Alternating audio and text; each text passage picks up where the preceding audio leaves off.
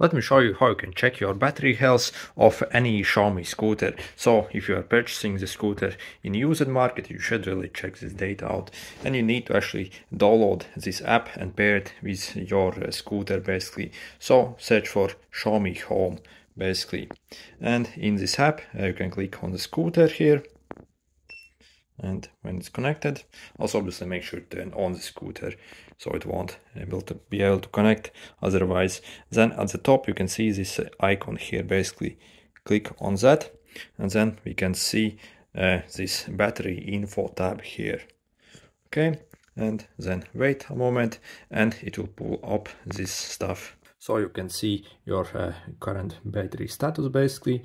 Then also when you scroll down you can see the production date of the battery here as well. So you can uh, basically check how long uh, basically how old that battery is. And also you can check the battery charge cycles. And you should really pay attention to this battery charge cycles and see how high it is. If, as you can see, it's only 4, so that means I only charged the scooter 4 times and that's basically like a brand new scooter pretty much.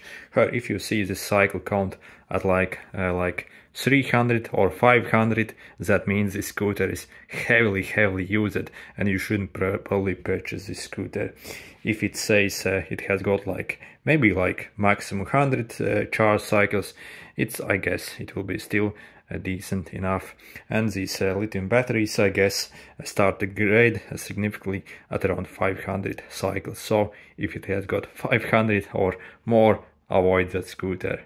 Also, when we go back here and uh, click on the speed and mileage, we can even see the total mileage of this scooter in a moment.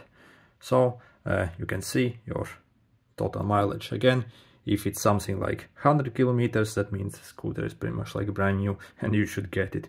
But if it's like uh, 5000 uh, kilometers or like even 2000, you should probably stay away and look for uh, another scooter. Also, you can see your remaining battery mileage here. So this says I got almost 26 kilometers and I have 86% remaining battery. So that's pretty good for the 1S for example. So really just look at the remaining battery capacity how much it's charged and what kind of estimate it's still giving you. If it's good enough that means the battery also will be fairly good. So that's how I do it on any Xiaomi scooter. If this was helpful make sure to hit the like button. See you